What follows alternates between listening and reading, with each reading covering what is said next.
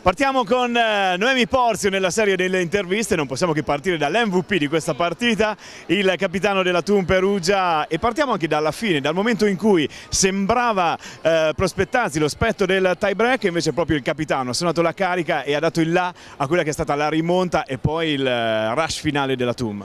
Sì, guarda, meno male perché il tie break non ci voleva, soprattutto perché avevamo giocato molto bene i primi due set e loro sono una squadra che non molla mai e l'abbiamo visto perché il terzo set al posto che arrendersi tra virgolette eh, hanno reagito, hanno reagito molto bene, ci hanno messo in difficoltà e mm, devo dire che questa cosa ci è servita perché eh, adesso sicuramente il, ritorno sarà fatto di partite intense intense scusate, e quindi non mollare mai ci aiuta, questo continuare pallone dopo pallone è importante per noi.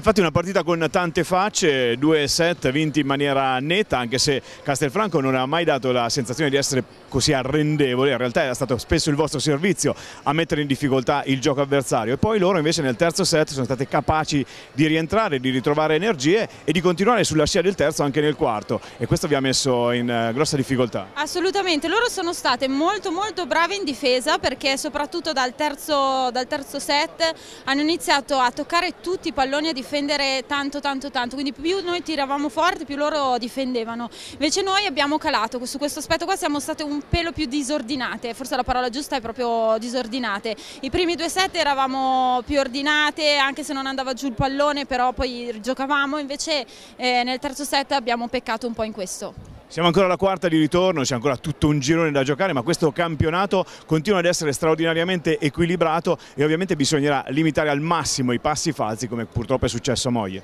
Assolutamente, è un campionato tostissimo, l'abbiamo visto, puoi vincere con tutte, perdere con tutte, eh, l'importante è non mollare mai, sempre testa alta e secondo me, noi, secondo me oggi noi l'abbiamo fatto, fatto, perché avevamo perso male a Moglie senza, senza ombra di dubbio e ci siamo siamo riscattate oggi, quindi sono contenta perché abbiamo fatto veramente un ottimo lavoro, quindi brave veramente le mie compagne perché sono stati incredibili.